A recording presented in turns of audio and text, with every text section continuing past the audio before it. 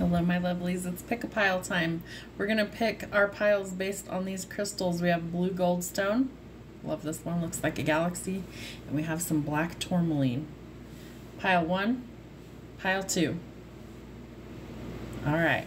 Pile one, this is your reading. Pile two will be the next video.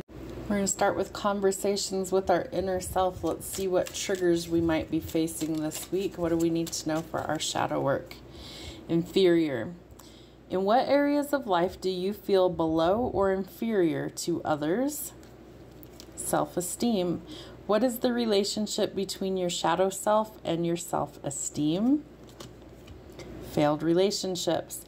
What is a common thread in your failed relationships? I love these cards. They give you some food for thought.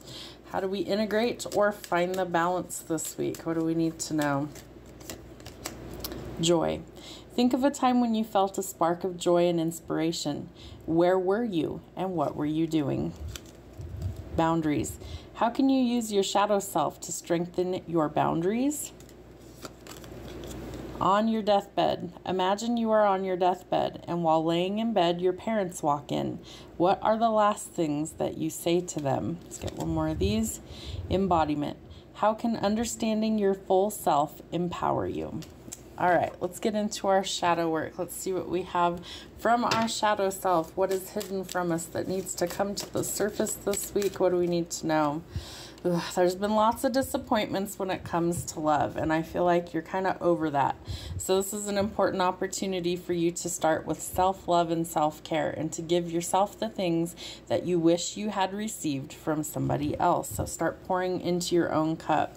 I do think that you've been dealing with a lot of people who are players, people who are non committal. They're people who are here one minute, gone the next, lots of like string alongs and one night stands.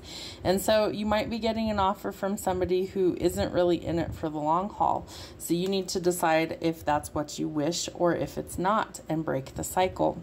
I feel like you're dealing with somebody who's kind of a tyrant, somebody who's a little bit cold and abrasive, and I feel like you really desire to break free from this. There might be a lot of overthinking, sleepless nights, and worry. So I feel like you're finally trying to make a decision where you go away from that conflict and chaos and you go towards your peace.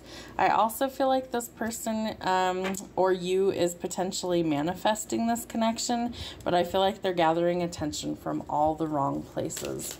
How do they find the balance this week? What's hidden that they need to find the balance? How do we find the balance this week? All right, you need some time to rest, recover, and recharge. You're depleted. So, again, self love and self care comes to mind.